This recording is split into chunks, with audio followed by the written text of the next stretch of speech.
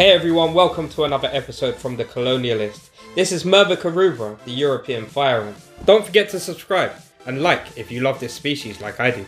They truly are a really enjoyable species to keep. I'll go over some of the reasons why, and also their care requirements. This species is widely distributed across the UK and Europe. However, these ladies have travelled and believe me they have grown to dominate many parts of the globe, where they are now considered invasive species in such countries as Canada, America and Japan, just to name a few. Just like Solenopsis, Myrmica rubra are able to sting. Due to their swarm behaviour, they are considered aggressive.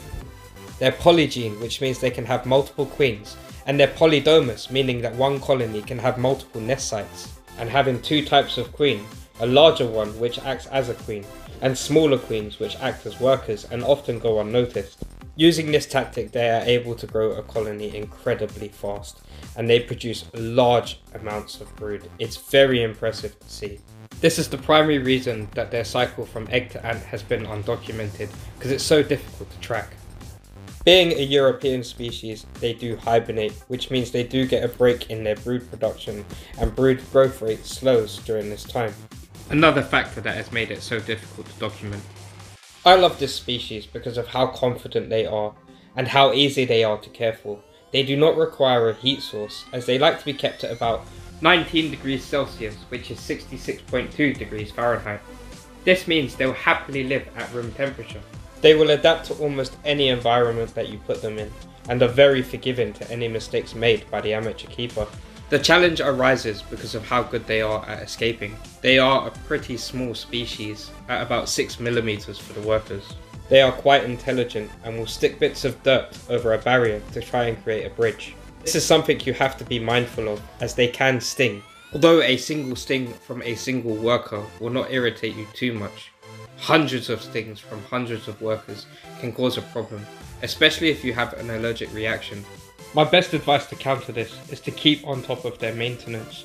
Check their barriers often to see if they've stuck dirt to it. If they have, simply scrape the dirt off and reapply the barrier.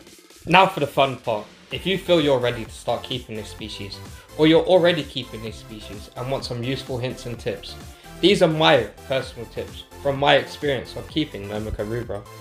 They absolutely love humidity. Their nest, at minimum, needs to be around 80% humidity. They will thrive in this environment, and a great way to achieve this is to use cocoa fiber substrate. Simply soak the cocoa fiber in water, let it soak it all up, and then place small amounts of cocoa fiber into the acrylic nest if you're using an acrylic nest. Otherwise, if you're using a natural nest for them, then simply mix up cocoa fibre with sifted and baked child's play sand. This is a fantastic mix that they'll be able to make some great tunnels from, and they won't suffer from tunnel collapses as long as it remains humid. My next tip is going to raise some eyebrows. I know what people are going to say already. Live feeding. This species does actually benefit from the stimulation of live feeding. And to do this safely, I always recommend flightless fruit flies as they can be dispatched within mere seconds of coming into contact with a Myrmica rubra worker. This replicates their natural need to hunt in the wild, but it's also the most ethical choice because of how quickly the animal can be dispatched without suffering. Due to the amount of brood they produce and the amount of larvae that they have to feed, they're very protein hungry, but they are also very carbohydrate hungry. They love sugars, so make sure you keep this topped up but feed sporadically, once every four to six days maybe. As tempting as it may be for the inexperienced keeper, do not skip hibernation for this species. It's incredibly important that they get this break.